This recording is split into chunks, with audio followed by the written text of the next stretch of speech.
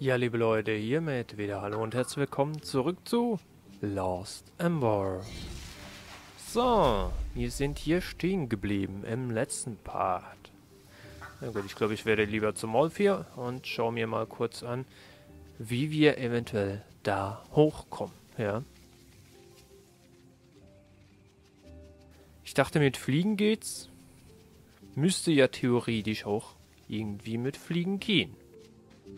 Die Frage ist natürlich nur, welches Tier? Und auch se selbst hier hochzukommen. Achso, wir müssen einfach am Rand entlang. Okay, gut. So, ich denke, der äh, größte Vorsprung könnte es theoretisch machen. Jetzt ist nur die Frage, wo haben wir denn die Tiere? So, hier haben wir eins. Kann ich irgendwie auf irgendwas drauf, um da vielleicht ein bisschen besser... Haben wir das schon untersucht? Nein, haben wir nicht. So, ein Hammer. Ein einfaches, aber vielseitiges Werkzeug. Trinken wir es nicht? Okay. So, ich wollte ein Thema ansprechen und zwar habe ich gestern, okay, mit jemandem darüber geredet, wegen Einzelspiele, also Multiplayer auch und Einzelspiele. Und er hat gesagt, er mag Einzelspiele, also so Solospiele eigentlich nicht so sehr. Er spielt lieber Multiplayer. Verstehe ich auch. Ähm, teilweise. Aber ich spiele halt gerne Solo aus folgenden Gründen. Schalte ich halt gerne ab von dieser Welt sozusagen und äh, sondere mich ein bisschen ab. Das klingt jetzt so als, ähm, naja, als müsste ich das. Aber es geht darum, dass ich vom Alltag etwas wegkomme, mich also runterfahren kann von dem Arbeitsstress oder von diesem Alltag und so und mich einfach entspannen kann, ja. Und deswegen mag ich diese Solo-Spiele, wie zum Beispiel jetzt Lost Ember, und deswegen sage ich auch, wahrscheinlich wird das mein Lieblingsspiel von diesem Jahr oder das beste Spiel von diesem Jahr, weil man hier sich voll entspannen kann, ja? Ich denke nicht, dass man hier unter Zeitdruck steht. Irgendwie, du musst jetzt das und das gemacht haben in der und der Zeit. Und beim Multiplayer ist es halt so, du musst immer on sein, ja? Und dieses blöde, du musst immer überall on sein und äh, ja. Also die wenigsten spielen ja heutzutage noch über Splitscreen, ja. Ich mochte diese Splitscreen-Spiele früher enorm. Also kannst du mit deinen Geschwistern und so und so weiter und so fort spielen. Deswegen muss ich auch sagen, ja. okay, ich habe den Faden gerade verloren, was ich sagen wollte. Gut. Ja. Also was ich ja nicht habe, ich habe ja keine Freundin oder Frau. Deswegen ist das vielleicht auch noch so ein anderes Gefühl, oder? Wegen äh, Solo-Spiele. Aber ich denke, wenn man jetzt Let's Playt, könnte man hier, ich rede ja über ein Mikrofon, oder? Könnte man jetzt theoretisch auch dieses Spiel zu zweit genießen, ja? Einer zockt es, der andere kommentiert es, oder beide kommentieren da ein bisschen was. Kann man ja auch machen. So, wir schauen uns hier kurz das mal an. Plage scheint hier gewütet zu haben.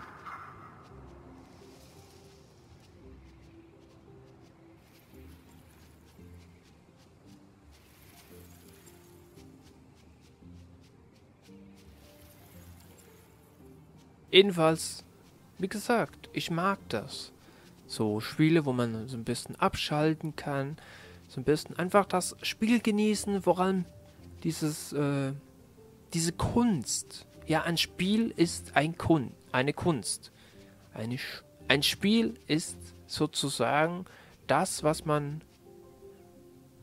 Wie soll man das sagen? Die, die Dinge verschwinden zwischendurch hier einfach. Ähm. Ah, das zählt trotzdem noch zu den anderen? Okay. Weil wir haben ja hier auch noch andere Pilze und so weiter und so fort. Egal. Jedenfalls, es ist ein Kunst, Ja, normalerweise so ein Kunstwerk stellt man sich eher so ein Bild vor, wo man denkt so, ja, was soll man damit anfangen? Aber wenn man jetzt hier so sagen wir einen Screenshot macht, würde ich das auch als ein Kunstwerk anschauen, ja? Aber das ist ein dreidimensionales Kunstwerk, ja? Und nicht nur das, auch die Musik dazu, alles, ja? Auch ein Film kann ein großes Kunstwerk sein. Ja, wir brauchen jetzt natürlich diese Tiere, wo fliegen können. Glaube ich jedenfalls.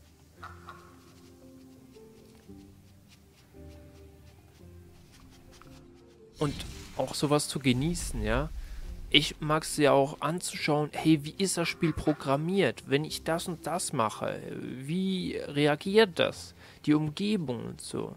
Wenn ich jetzt hier zum Beispiel durch das Gras laufe, funktioniert... Ja, es wird ja ein bisschen runtergemacht, oder? Was haben die Entwickler hier alles gedacht und wie ist die Story aufgebaut? All diese kleinen, netten Details. Das mag ich so an Spielen. Also für mich ist es wirklich Kunst. Und bei so AAA-Spielen muss ich einfach sagen, dass es zwischendurch einfach so, ja, Hingeklatsche, sage ich mal. Bei manchen. Da fehlt mir die Kunst. FIFA zum Beispiel. Da fehlt mir die Kunst mittlerweile.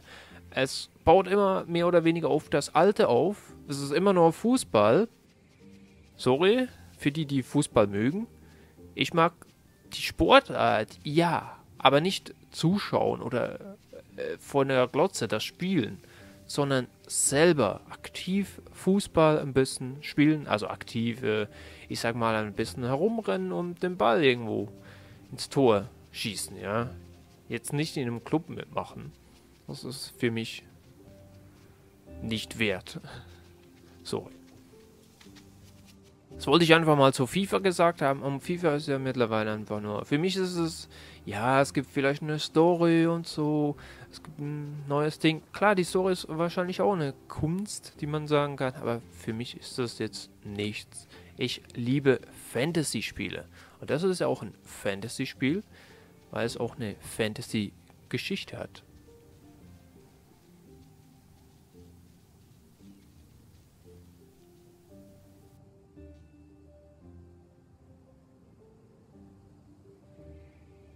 Ach stimmt, das sind ja die Tiere, wo sie sich vergraben können. Ich dachte immer, die anderen kleinen putzigen Dinger, wo sie nur rollen können, sich vergraben, aber das ist ja gar nicht so. Also diese hier, wo gerade wegrennen. Und hier hatten wir eine Blume. Okay. Die sind aber hier runtergefallen. Naja, jedenfalls, äh, ja. Ich mag so Solo-Spiele. Und ich meine, wenn ich ja jetzt äh, Multiplayer spielen will, dann nehme ich auch Multiplayer, ja. Das ist nun mal so. Er hat gedacht, ja, du kannst ja auch in, äh, also er spielt, Black Desert, also nichts gegen dich, ja. Ich bin, äh, äh, fand es unterhaltsam gestern mit dir zu reden. Was du dieses Video schauen solltest. Ich finde das jetzt nicht, äh, also, ich meine es nicht böse, ja. Stehe mich richtig. Ich finde es einfach auch schön. Ja, klar, eben. Ich finde es schön, bei Multiplayer mich mit anderen Leuten zu unterhalten. Aber eben, wenn ich sowas spielen will, dann, oder ein Multiplayer spielen will und mich unterhalten will, dann spiele ich auch sowas, ja. Aber ich mag dieses immer on, überall online sein und so. Also dieses heutige da diese Medien und so, Facebook und Twitter und Instagram und was auch alles gibt, muss immer on sein und die Leute haben irgendwie Angst, irgendwas zu verpassen. Das finde ich völliger Bullshit. Es gibt ja Leute, die äh, wohnen irgendwo in einem Waldhütte und ich meine, ich hätte jetzt kein Problem mit so sowas. Ja?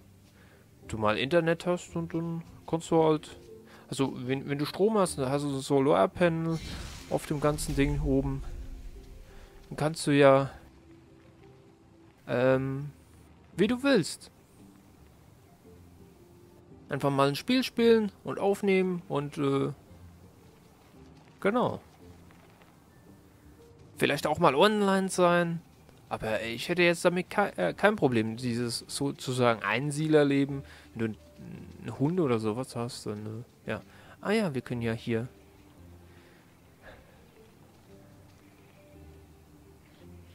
Das habe ich schon gesehen im Trailer, dem neuen. Jawohl. Was sind das? Ähm, sorry, ich weiß es gerade nicht, wie man die nennt. Hä? Kann ich auch zu dem hin? Gut. Jawohl. Kleine unsinnige Dinge. Kleine Albernheiten, genau, so haben die das genannt. Rennen kann er dafür nicht. Also, wenn ich eben die Renntaste drücke, dann macht das sie. Na gut. Ich lasse dich wieder laufen. Was seid ihr eher? Solospieler oder würdet ihr sagen, immer online sein, ne? Immer Multiplayer und ihr habt sonst Angst, irgendwas zu verpassen, auch irgendwie bei WhatsApp oben immer online sein müssen und ja, man weiß ja nie, vielleicht schreibt ja jemand und vielleicht wurde, äh, hat man ja wieder irgendwelchen Likes bekommen oder ich weiß auch nicht.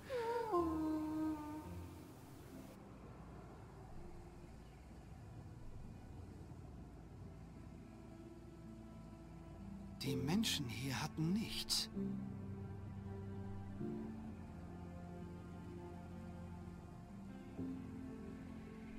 Und trotzdem hast du mit anderen geteilt.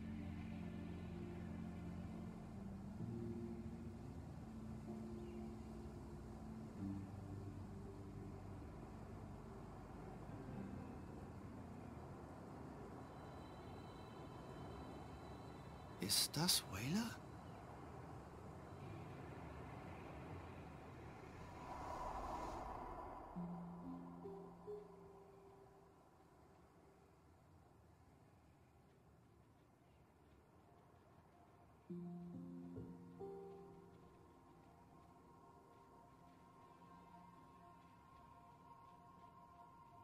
Du siehst so schwach aus.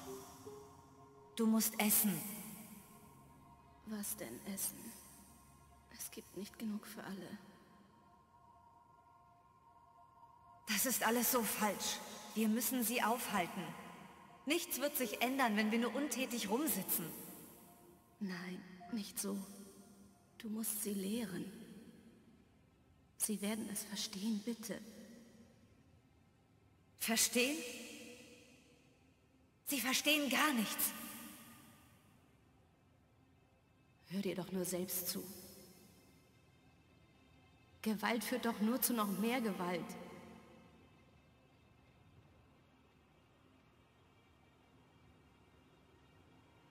Ich kann nicht glauben, dass gerade du mir nicht beistehst.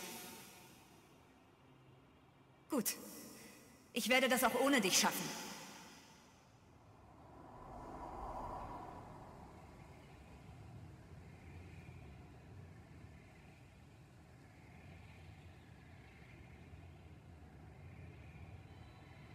Was ist hier passiert? Es ist wohl vor langer Zeit niedergebrannt. Wolf, ist das... Wolf, ist das... Ist das dein Zuhause? Tut mir leid. Weißt du, was passiert ist?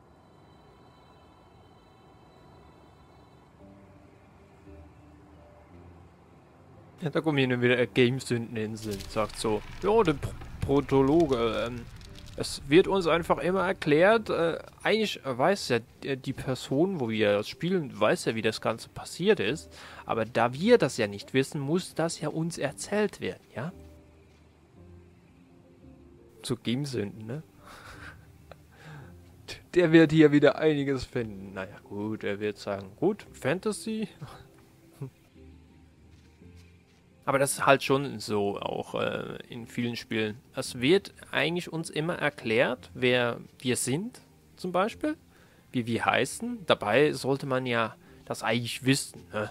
Also, aber da wir ja den spielen, muss das ja uns erklärt werden, weil wir es ja selbst sonst nicht wissen würden. Also versteht ihr, was ich meine? So ein, ein Problem. Und in den Filmen ist das ja auch nicht immer viel anders.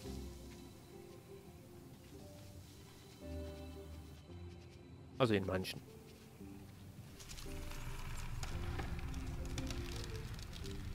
Okay.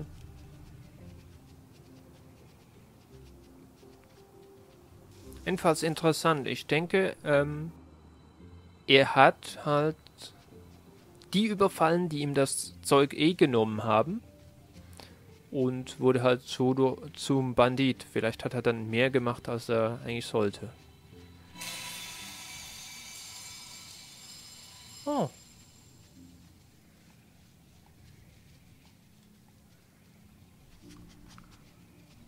Können die das Ding auch essen hier? Ich will mal schauen.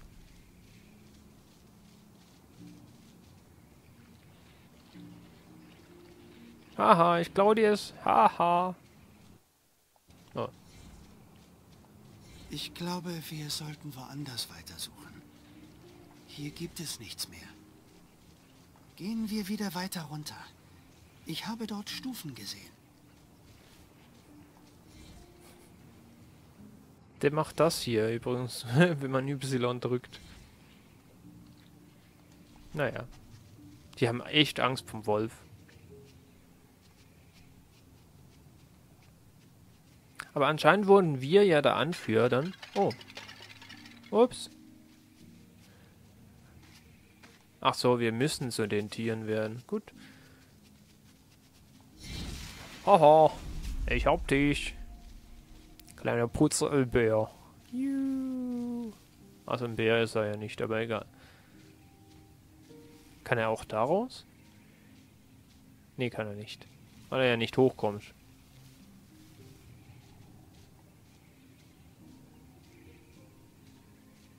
Runterrollen. Ja. Bam.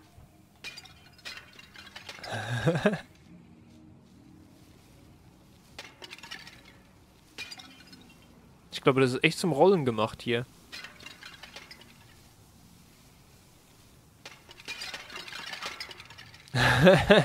Wie wir etwa die Vögel hier auch verscheuchen. Ja, wieso mache ich denn diesen Unsinn eigentlich? Ja gut, es steht irgendwas von... Oh. Von Dingen zerstören. Als Errungenschaft. Und deswegen mache ich das einfach mal. Vielleicht kriege ich ja das. Gut, ich brauche die Errungenschaft ehrlich gesagt auch nicht. Ähm, ich finde das auch bescheuert, wenn man mit diesen Errungenschaften... Klar, wenn man... Ich sag mal, wenn man Langeweile hat, um ein Ziel zu erreichen, ja. Aber wenn man da wenigstens was bekommen würde. Für diese Errungenschaften. Ich nehme es Wunder, wie lange es dauert, bis wir zu einem Papagei werden können. Und ja, ja, die Zeit ist wieder vorbei. Dann würde ich sagen, liebe Leute, wir sehen uns im nächsten Part wieder von The Lost Embers. Also macht's gut und bis zum nächsten Mal, wenn es wieder heißt Lost Embers. Also schaltet beim nächsten Mal wieder ein und liken nicht vergessen, ja. Und ihr dürft mich gerne abonnieren oder auch sonst unterstützen. Also ihr könnt diesen Part gerne teilen diese Videos oder auch meinen Kanal auf Social Media. Hm? Ich wäre jedenfalls froh darüber. Danke, liebe Leute, und macht's gut. Tschüss.